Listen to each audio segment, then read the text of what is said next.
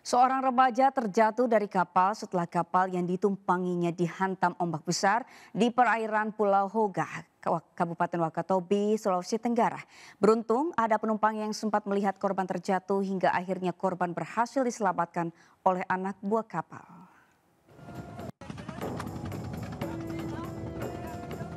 Inilah detik-detik penyelamatan seorang remaja bernama Lamusa usai terjatuh dari kapal yang ditumpanginya di perairan Pulau Hoga, Kecamatan Tomia, Kabupaten Wakatobi, Sulawesi Tenggara.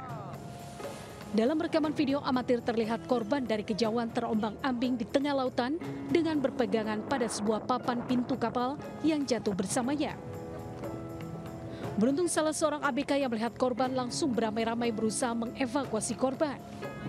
Para ABK sempat mendapatkan kesulitan saat berupaya menyelamatkan korban karena ombak besar dengan ketinggian mencapai 2 hingga 3 meter.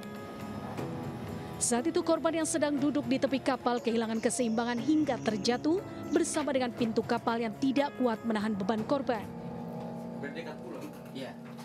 Ya, itu orang yang di dalam bodi ini dia teriak. Hmm. Kata itu Lala dia jatuh. Langsung kita balik haluan. Hmm, karena kita sudah lihat sudah jatuh sekitar 50 meter begitu jauhnya.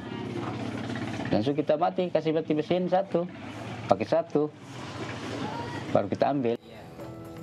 Personil Satpol Airut Polres Wakatobi menghimbau pentingnya mewaspadai kondisi cuaca saat ini dan polisi juga menegaskan kepada ABK dan Nakoda agar selalu memeriksa kondisi kapal termasuk kesediaan alat keselamatan saat berlayar.